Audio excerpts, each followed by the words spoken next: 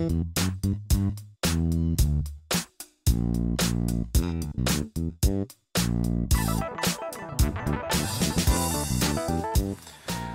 ¿cómo están? Espero que estén muy bien y les quiero dar la bienvenida a otra edición más de Soluciones del 13. Hoy tenemos un programa muy importante porque vamos a conversar sobre cómo debemos pensar las ciudades del futuro en temas de movilidad urbana y espacios de teletrabajo, junto a Ana Quiroz, la presidenta del Consejo de Construcción Verde en Costa Rica. Y vamos a presentarles más iniciativas solidarias y buenas noticias para ustedes en sus casas. Y como siempre, veremos más historias de emprendedores en nuestro país. Comencemos. ¿Cuál pandemia? Así se llama la aplicación para celulares y computadoras que elaboró Sebastián Zúñiga, un estudiante avanzado de ingeniería en mecatrónica en el Instituto Tecnológico de Costa Rica y que busca ofrecerle a la gente una manera sencilla y accesible de tener información sobre la pandemia del COVID-19 y los temas relacionados. La aplicación ya está disponible y en ella usted puede ver las alertas sanitarias, las restricciones vehiculares, los casos activos por cantón, entre otro montón de datos estadísticos que son, por supuesto, de interés público. También encontrará los contactos de las líneas de atención y ayuda en caso de violencia de género o atención psicológica. Sebastián nos contó que la idea es donar la aplicación al Ministerio de Salud para que esto ayude a la ciudadanía a estar informada, sin necesidad tampoco de recurrir a múltiples fuentes de información que pueden resultar a veces un poco confusas. Producir de manera más eficiente, reinventarse, mantener cadenas de valor que sostengan empleos y medios de vida mientras asegura el aprovechamiento sostenible y la reutilización de la naturaleza frente al cambio climático, ese es precisamente el objetivo de la Estrategia Nacional de Bioeconomía que fue anunciada el pasado viernes 7 de agosto.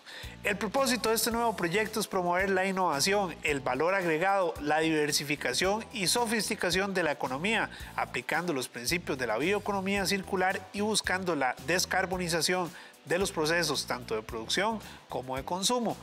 La estrategia tiene una visión de 10 años y está prevista para implementarse en tres fases. La primera, que es de impulso desde este año hasta el 2022. La segunda, de escalamiento del 2022 al 2026. Y la tercera, una fase de consolidación del 2026 al 2030. La estrategia tiene como referente marcos de políticas globales adoptados por el país, como por ejemplo la Agenda 2030 para el Desarrollo Sostenible, el Acuerdo de París sobre el Cambio Climático, el Convenio sobre Diversidad Biológica y la Convención de Lucha contra la Desertificación. En Soluciones del 13 conversaremos también con la ministra de Ciencia y Tecnología para que nos amplíe aún más sobre esta importante iniciativa. El Teatro Expresivo lanzó una colección de mascarillas con diseños únicos elaborados por su equipo de vestuaristas, quienes se han visto muy afectados por el cese de esta actividad cultural. Estos profesionales se han dado la tarea de investigar, diseñar y confeccionar mascarillas de primera calidad, las cuales han tenido una excelente acogida por parte de las personas y las empresas. Una parte de esos ingresos son para ellos. Las mascarillas expresivas cuentan con tres capas de protección y materiales hipoalergénicos y antifluidos que controlan el desarrollo de bacterias, hongos y virus. Además son muy fáciles de lavar, de rápido secado, son resistentes y se entregan con una guía de recomendaciones para su uso. Las mascarillas expresivas tienen un costo de 2.000 a los 5.000 colones, con el impuesto al valor agregado incluido, y se envían a la puerta de su casa. El envío es totalmente gratuito por la compra de más de 6 unidades. Para más información visite el catálogo en línea en el sitio web www.expresivo.cr o también escriba por WhatsApp al número de teléfono 6360 9158. Seguimos apoyando y mostrando más emprendimientos en nuestro programa. Hoy presentaremos el de Susan Herrera, la esquina pastelera, que está ubicada en el mercado florense de Heredia. Me llamo Susan Herrera y soy la propietaria de la esquina pastelera. Eh, una tienda de insumos de pastelería, repostería, condimentos que encuentran dentro del mercado florense en Heredia. Como les indiqué, pueden encontrar artículos como boquillas, mangas pasteleras, eh, colorantes, moldes, esencias, en fin, todo lo que ustedes necesiten para eh, decorar un queque, hacer un poste. Y bueno, los pueden encontrar dentro del mercado Florense en Heredia, locales 12 y 15, o bien frente a la macrobiótica. Y también nos pueden seguir en nuestras páginas de redes sociales como la esquina pastelera, tanto en Instagram como en Facebook. Y nuestro teléfono, eh, donde pueden hacer sus pedidos, contactos, 7228-9187. Recuerden que si son emprendedores o emprendedoras y tienen algún proyecto que quieran dar a conocer, solamente envíenos sus videos contando y ofreciendo sus servicios y los pasaremos acá en este espacio. Pueden enviarlos por WhatsApp al teléfono 84959161 o al correo anaranjo.cinart.go.cr. Vamos a ir a una pausa y al regreso conversaremos sobre el teletrabajo y la movilidad urbana luego de la pandemia, un tema que es muy importante y que tenemos mucho por resolver acá en Soluciones del 13. Edina presenta la sección Somos de los mismos.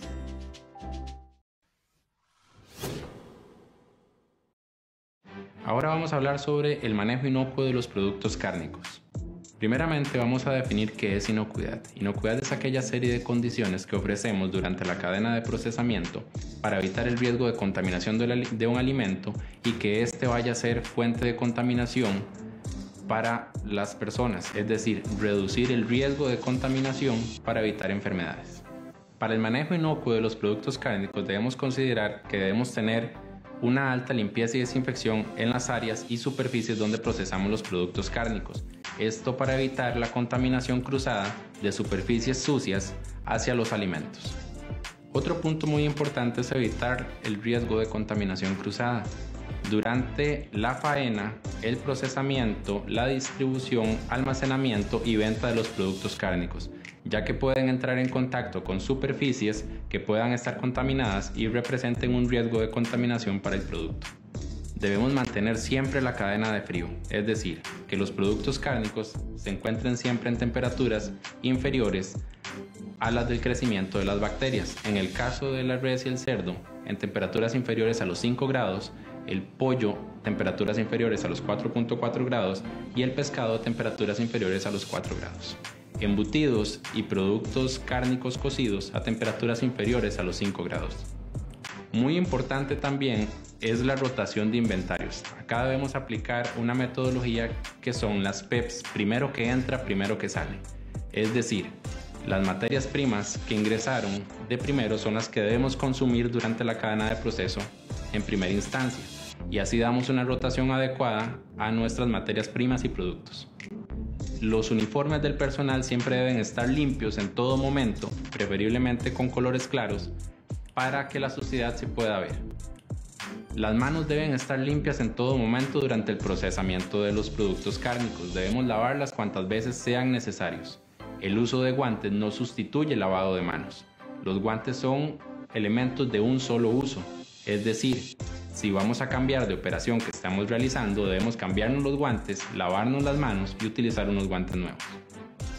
Otro punto muy importante es utilizar materias primas seguras y agua potable. El agua potable nos ayuda a evitar la contaminación del producto y las materias primas seguras deben venir de establecimientos aprobados por las autoridades competentes y también que tengan su respectivo registro sanitario del Ministerio de Salud, en el caso de los aditivos y condimentos.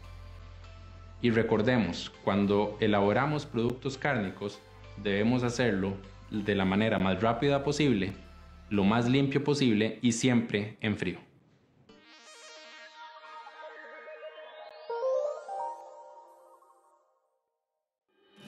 Erina te presentó la sección Somos de los mismos.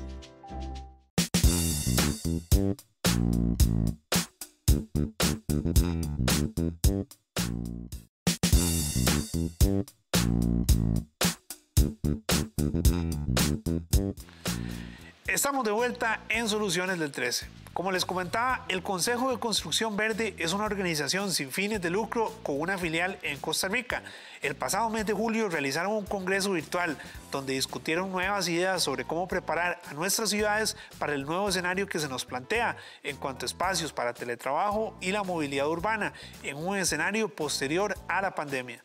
Para conocer sobre más detalles de esta iniciativa, conversamos con Ana Quiroz, la presidenta del Consejo en Costa Rica, y esto fue lo que nos dijo. ¿Qué pasaría si no, si no tomamos esta, decisión de adaptarnos en, el tema del teletrabajo, de adaptar eh, la infraestructura alrededor nuestra? ¿Qué podría suceder si postergamos esa discusión y la toma de decisiones en ese sentido? Tiene impactos muy fuertes en la parte económica, en la competitividad. Eh, estamos tratando también de atender una situación eh, de pandemia y de salud y si no acatamos soluciones que nos ayuden a aliviar la carga en los centros hospitalarios, a la vez que nos mantenemos activos económicamente, pues las repercusiones son tremendas, ¿verdad? En todos los aspectos. ¿Qué otros eh, puntos se conversaron durante el Congreso en cuanto a esta nueva normalidad y la necesidad de adaptarse? Hablamos mucho también sobre el tema de cómo los gobiernos locales pueden participar y, y ayudar en este proceso de aceleración hacia políticas que sean eficaces y eficientes. También estuvimos tratando el tema de movilidad muy fuertemente. Usted sabe que está en el tapete el tren, pero trascendimos el tren. No es solo el tren.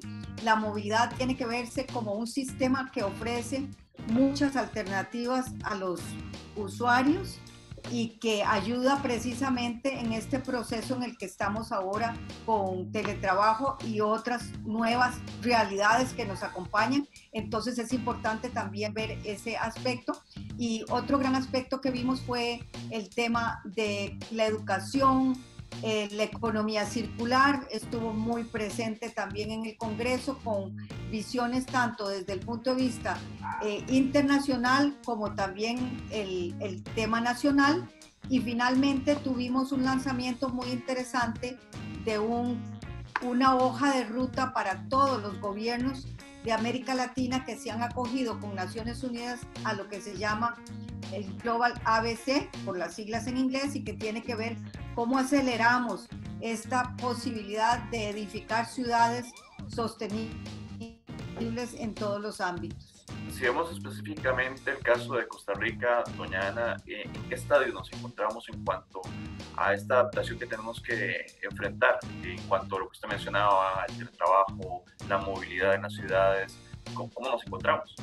Eh, el tema es eh, contra qué nos comparamos, más bien.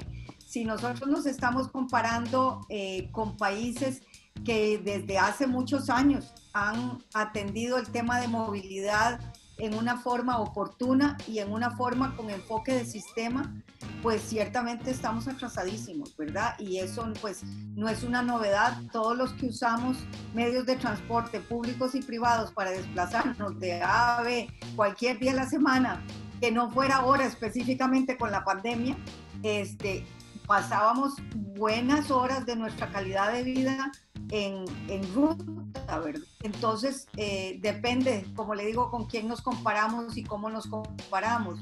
Tenemos mucho que hacer y hay que hacerlo. La, la pandemia más bien no debería de ser un factor que nos desacelera, sino por el contrario, que nos interpela a buscar e implementar esas soluciones, algunas ya planteadas de años atrás y otras que tenemos que adaptar porque sí estamos de frente a una nueva realidad. Eso es un hecho. Ustedes plantearon un dato muy interesante de una encuesta que realizaron a 1.300 colaboradores y en la región y el 97% de ellos dijo que quería seguir en el trabajo. Esto es todo un reto, ¿verdad? Porque hablábamos de que el teletrabajo tiene ventajas, pero también podría tener desventajas si no se aborda correctamente. Exactamente, comparto con usted ese, ese criterio de que hay que analizar tanto lo que vemos como positivo como aquellas cosas que estamos descubriendo que tienen un gran reto para que no se conviertan en algo negativo y sea un despropósito. Eh, esos retos están desde el punto de vista de la infraestructura, cómo nos adaptamos en nuestro hogar. Mucha gente está pensando en hacer inversiones, tanto de equipamiento como de propiamente las instalaciones edificadas, ¿verdad? Un cuarto adicional, he oído a otros decir, este, para tener una oficina, para aislarme del resto de, de, la actividad familiar. Algunos han planteado muy interesantemente adaptar las áreas para que tengan diferentes usos durante diferentes horas del día. Eso tiene un gran reto también en la parte de la dinámica familiar y de lo que hablábamos hace un momento antes de, de entrar a cámara, si es cómo nos afecta psicológicamente sentir que no hay una manera de desvincularse de lo que es la vida cotidiana eh, inmersa en el trabajo o el trabajo inmerso en la vida cotidiana. Es un gran reto, ¿verdad? Porque si nosotros no tenemos espacios en donde asociamos ciertas actividades, que es muy lógico para el ser humano, es una manera de desestructurar eh, la forma en que pensamos y de poder decir eh, voluntariamente y conscientemente, hasta aquí llegó mi día de trabajo, aunque estoy en una, en una área en donde también realizo trabajo, ¿verdad? Y más con la conectividad que tenemos ahora, eh, de buscar cómo responder a las preguntas que nos interpelan y a las demandas 24 horas, 7 días al día, es muy duro. Entonces es también cambios en el estilo de vida. Muchísimas gracias, doña Ana Quiroz, presidenta del Consejo de Construcción Verde en nuestro país. Vamos a hacer una pausa y ya casi volvemos con más información. Elina presenta la sección Mercadito Virtual.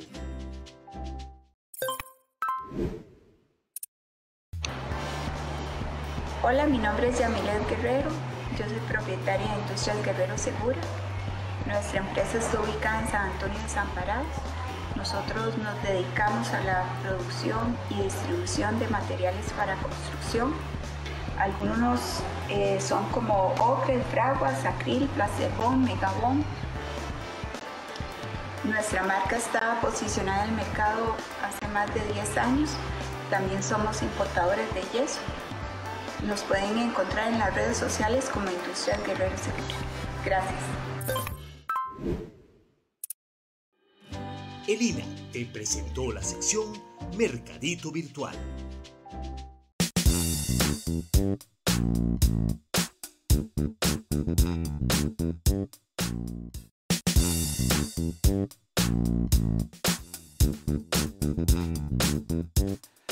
Muchísimas gracias por estar en sintonía con nosotros. Venciendo al COVID-19 es el nombre del juego de mesa para disfrutar en familia que diseñó Cristian Leiva, promotor de la salud del programa Ambientes de Trabajo Saludables de la Universidad Nacional, el cual se basa un poco en la dinámica de juegos como Monopoly o Gran Banco. Lo bueno de esto es que no se requiere hacer un gasto de dinero, ya que otro de los propósitos del juego es aplicar la creatividad en familia y aprovechar material reciclable como tapas o envases plásticos de bebidas, papel, algo de goma y tijeras. Leiva explicó que se inicia dibujando en una cartulina, un cartón o algún material que tenga a mano el recorrido para llegar al hogar, ya sea desde el trabajo, el supermercado o la pulpería. Durante este trayecto de 55 espacios nos encontraremos con amenazas del exterior, pero también con premios por poner en práctica las nuevas normas de higiene preventivas puede ser que el turno nos lleve a un castigo, el cual nos recordará lo que no debemos hacer, como por ejemplo, te tocaste la cara sin lavarte las manos, entonces tendrás un castigo y en ese caso tendrá que retroceder varios espacios. Si está interesado en romper con la rutina de la cuarentena, puede visitar el canal de YouTube ATS Una Actívate Ya y ahí podrá encontrar toda la información sobre este juego. La marca Nestlé Costa Rica anunció que invertirá 1.6 millones de dólares en Costa Rica para desarrollar en nuestro territorio su nueva marca conocida como Café Molido Nescafé. Nuestro país fue elegido por esta compañía debido a la calidad del grano de oro costarricense, el alto consumo de café molido en el país y por la importancia que tiene el mercado nacional en la región centroamericana. Doña Sandra Jiménez, gerente general de Nestlé Costa Rica, dijo que para Nestlé Costa Rica es una satisfacción anunciar el lanzamiento de un producto que representa inversión y fuentes frescas de ingreso para los productores nacionales. La selección del grano del nuevo café molido se realiza a través de socios locales que impactan directamente la vida de más de 3.000 familias al trabajar mano de obra con caficultores de 15 diferentes microbeneficios. Por otra parte, el tostado y empacado por la Cooperativa de Caficultores y Servicios Múltiples de la Cordillera Alta de Tilarán y Avangares, cooperativa que agrupa a más de 350 productores nacionales. Hola, espero que estén muy bien. Eh, hoy vamos a hablar de cómo podemos relajarnos de adentro hacia afuera y liberarnos de tensiones. Primero quisiera que observen de 0 a 10 cuál es su grado de estrés. 0 sería que estoy totalmente relajado, relajada, muy tranquilo. 10 sería que tengo mucho estrés. Entonces, solo observen. Identifico cómo me siento en este momento.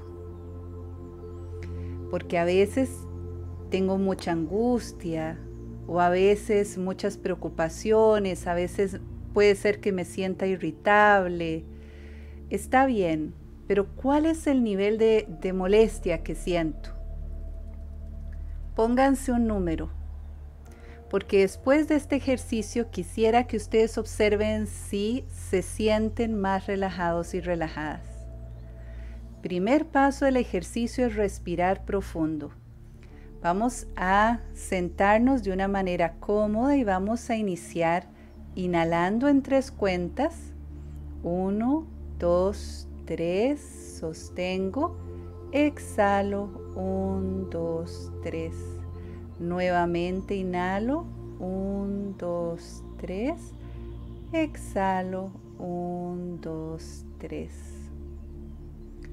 Ahora el segundo paso es recuperar mi equilibrio interno al experimentar un espacio seguro. Porque cuando todo a mi alrededor cambia, es inconstante, a veces no sé, no miro muy bien hacia dónde ir, necesito encontrar un punto de estabilidad interior. ¿Cómo lo vamos a hacer? Quisiera que visualicen o imaginen una imagen o un lugar o un sonido que les genera mucha paz, mucha tranquilidad.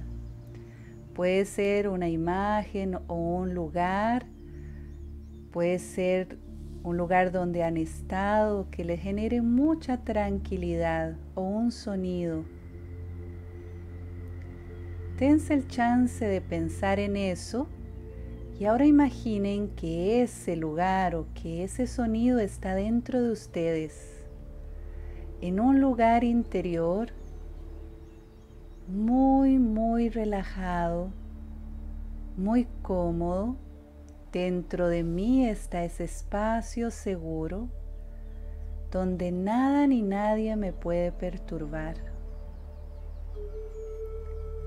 Ahí dentro de mí Puedo darme el permiso de ser quien soy, de recuperar mi energía, de descansar mi mente. En ese espacio seguro vuelvo a tomar el control de mi mente, como si yo estuviera en el ojo de un huracán donde hay quietud, donde hay silencio, donde hay paz por un momento recupero esa energía de paz interna. Inhalo profundo, integrando esa tranquilidad a mi cuerpo. En caso que haya cerrado los ojos, los vuelvo a abrir. Y ahora, ¿cómo se sienten? De 0 a 10, se sienten un poquito mejor. Entonces ahora voy a recuperarme eh, este espacio de autocuidado, de protección interna y voy a tener así una mente más clara, una visión más amplia para encontrar soluciones. Bueno, espero que les haya servido el ejercicio. Todos los mejores deseos. Y hasta acá llegamos con el programa del día de hoy. Recuerde que su cita es todos los días justo después de la conferencia de prensa del Ministerio de Salud y que también, como no, puede revisar toda la información de este programa en la página de Facebook de 13 Costa Rica Televisión y en la página del programa Soluciones del 13. Recuerde cuidarse bastante, lavarse bien las manos y nos vemos en otra edición.